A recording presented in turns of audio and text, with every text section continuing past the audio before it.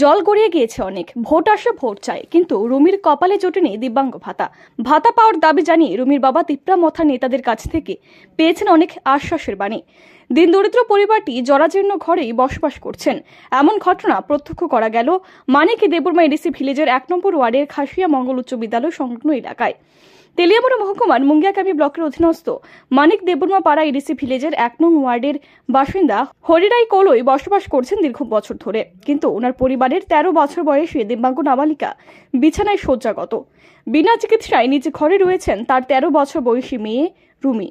বাবা হরিরাই কলই তার মেয়ের চিকিৎসা করাতে পারছেন না আর্থিক প্রতিকূলতার কারণে। হরিরাই কলই পেশায় একজন দিনমজুর।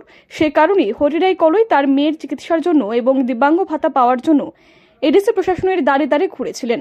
হরিরাই কলই এডিসি প্রশাসন থেকে কোনো প্রকার সাড়া না পেয়ে তিপ্রা মথা দলের নেতাকর্মীদের শরণাপন্ন হয়েছিলেন। তাতেও এডিসি প্রশাসনও তিপ্রা মথা দলের নেতাকর্মীদের থেকে কোনো সাহায্য পায়নি বলে অভিযোগ, যার ফলে দিব্যাঙ্গ রুমি কলই বর্তমানে অসুস্থ হয়ে বিনা চিকিৎসায় নিজ ঘরে কাতরাচ্ছে। অসহায় পিতা হরিরাই কলই নিরুপায় হয়ে সহ্য করে যাচ্ছেন। খুঁজছিল, কিন্তু না। কোনো কোনোটা পাইনি একটা ফলের চারা পর্যন্ত আমরা পাইনি। আচ্ছা এখন হ্যাঁ।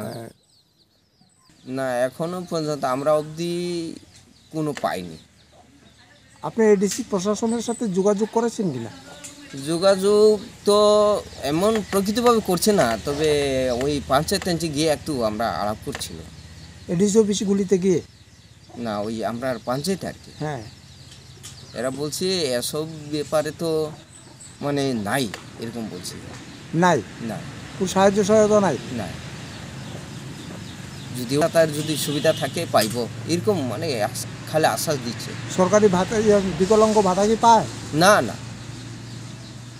খালি এই বয়স কত হবে? বয়স এখন তেরো ঢুকছে। ওকে এখন বিছনাতি শয্যা কত থাকে? হ্যাঁ হ্যাঁ। এখন তো যত বয়স বাড়বে ততই আমরা কঠিন নিতেছে bureau report R E news.